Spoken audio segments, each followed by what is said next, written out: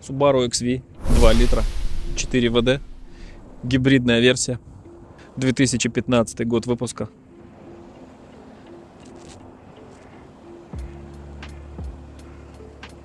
Только забрали с таможенного склада. Останется ездить во Владивостоке. Местная девочка. Очень хороший автомобиль. Данный автомобиль с аукционной оценкой R. Замена заднего левого крыла. Очень многие боятся такой замены, что вот, мол, вываривают, разваривают, там то все.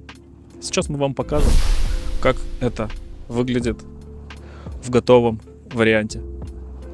На мой взгляд, абсолютно ничего критичного, ничего страшного нет. Комплектация у данного автомобиля 2.0 i Limited присутствует EyeSight, полный мультируль, комбинированные сидушки, Алькантара, замша Алькантара, кому как удобно. Клиренс у данного автомобиля высокий, несмотря на то, что он сам небольшого размера, клиренс у него довольно-таки высокий. Итак, вот аукционный лист, пробег 100 тысяч, 2 литра, комплектация здесь заявлена, здесь пробег, номер аукционного лота. И мы видим, что здесь была замена заднего левого крыла. Плюс W2 была окрашена задняя дверь. Ну, так сказать, сделан был переход, чтобы было все чин-чинарем. Смотрим, что мы получаем здесь. Значит, э, несмотря на то, что цвет белый перламутр, а, снежная королева, кому как удобно, жемчуг, в цвет бьется отлично. То есть нет такого, что в цвет не попали, где-то что-то сэкономили или еще что-либо. Все такие замены, все такие моменты, ремонты, покраска производятся а, в специализированных сервисных центрах. То есть никакой Вася, никакой Петя в гараже, в кустах, как в России, не красит. То есть делают все это качественно. С заменой, если происходит замена, то меняется деталь оригинально. Не Тайвань, не Китай, не какой-нибудь Псков или еще что-нибудь. То есть оригинально японская э, деталь ремонтная. Сейчас покажем вообще, как это. Вот я вот смотрел.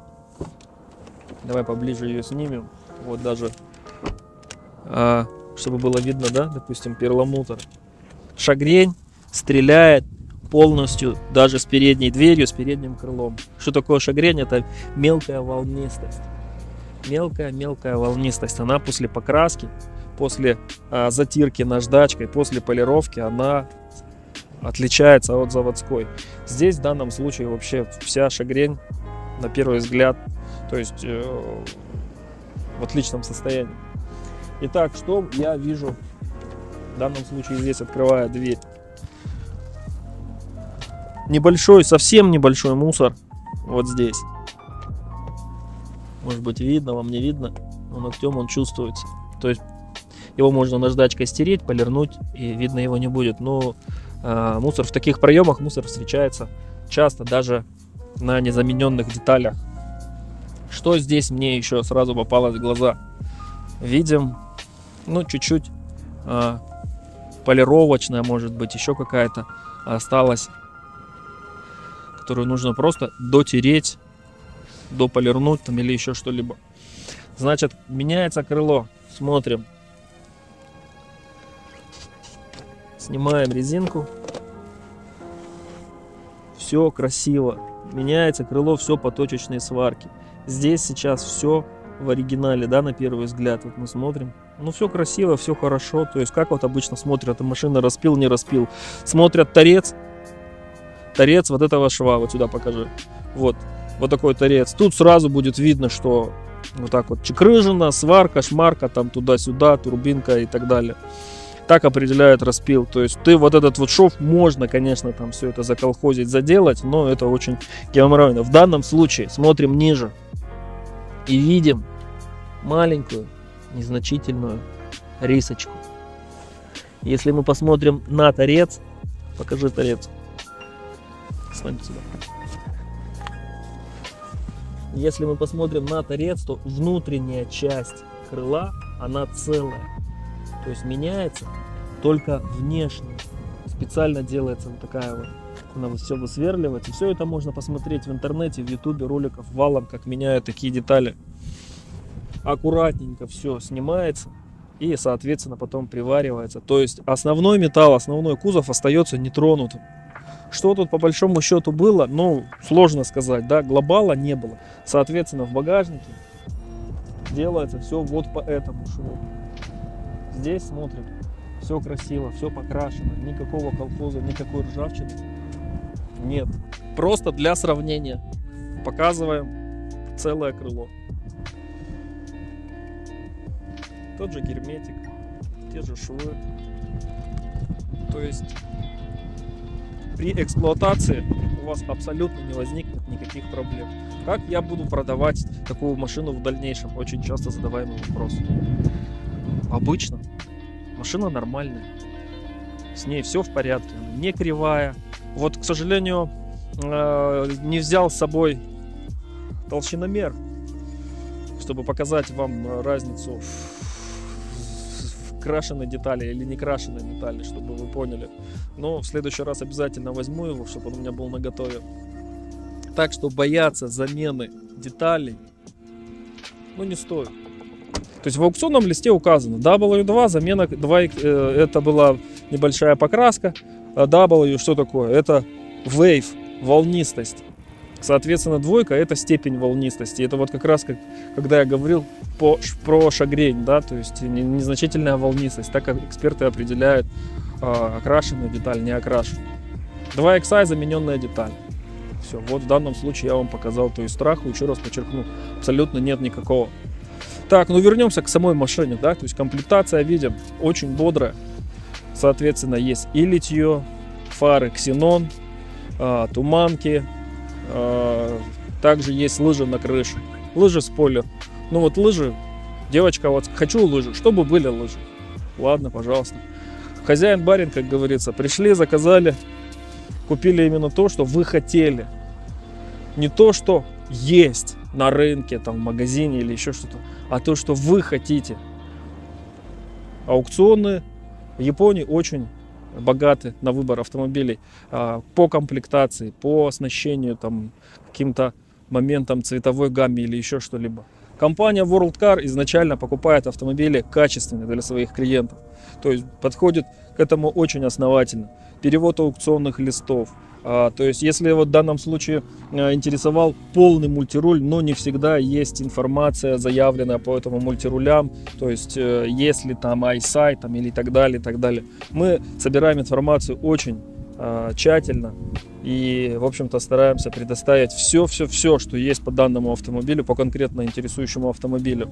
Ну вот в данном случае очень хороший вариант попался. Тот, который хотела девочка. Значит, что мы здесь получаем? Полный мультируль. Здесь присутствует Bluetooth, управление э, бортовым компьютером, управление магнитолой. Здесь, значит, у нас есть SI Drive. Drive – это система, которая, э, так скажем, э, чувствительность педали газа увеличивает или наоборот уменьшает. Соответственно, есть полосность движения, активный круиз-контроль, ну, соответственно, вот с системой iSight. Ну, в общем, полнейшая комплектация, полнейшая. Также здесь присутствует датчик автоматического включения-выключения э, света, туманки, кнопка старт, старт-стоп. Ну и присутствуют все шильдики, все лейбочки по заменам, когда что менялось, какое масло. Вот здесь в данном случае э, масло было 0В20, да, то есть здесь вот тоже указано, что здесь менялось. Даже указано, когда был, какой фильтр был поставлен, воздушный. Так что машина полностью кожаная и, в общем-то, будет служить верой и правдой для клиента. Электропривод а, водительского сидения. Сидушки, боковушки у нее не кожаные, обычные тряпочные, но вот серединка э, э, замша, алькантара, очень приятная на ощупь.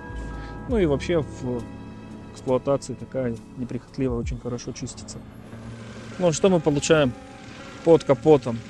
Двухлитровый оппозитный мотор, боксер, в данном случае с гибридной системой. Но гибридная система, конечно, не как у Toyota, да, видите, вот он молотит.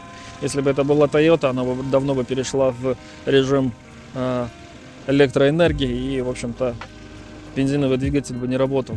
Здесь печка сейчас, может быть, кто-то скажет, возможно, печка включена. Нет, выключены абсолютно все приборы, даже свет. Он молотит, она останавливается только когда ты остановился на светофоре. То есть такая система, как старт-стоп, не более. Но в данном случае мы видим, да, два аккумулятора, но прям, прям для Subaru XV, как бы, по большому счету это импреза. Вкорячили два аккума, ну, возможно, есть в этом толк, своя фишка. Прям как в прадиках, крузаках дизельных старых. Зато зимой, наверное, заводится вообще в любую погоду, в любую бурю и так далее. Значит, что мы получаем от багажника? А, шторка имеется, но как бы шторка понятно, размер. Ну, я бы не сказал, что он прям здоровенный, но для данного автомобиля вполне, вполне, я думаю, вполне достаточно. А, пол, пол мягкий, боковушки у него а, пластиковые. Сидушки складываются таким образом. 60 на 40. В принципе, как и обычно. Получается большой довольно-таки багажник. Даже можно поехать куда-нибудь на природу, закимарить в нем, заночевать. Так, что тут у нас под половицей? Здесь мы видим домкрат, а, баллонник, это э, субаровская отвертка, крутилка. Ну а здесь вот уже непосредственно расположена сама батарея. То есть туда дальше вот она. Так вот это все выглядит. Ну, это система охлаждения на батарее.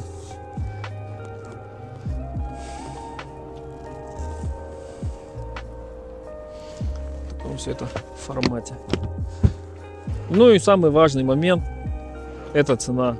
Цена на данный автомобиль варьируется миллион сто, миллион четыреста тысяч рублей. А, в зависимости от того, в каком вы состоянии хотите купить автомобиль, с каким пробегом, в какой комплектации. В данном случае машина обошлась миллион двести семьдесят.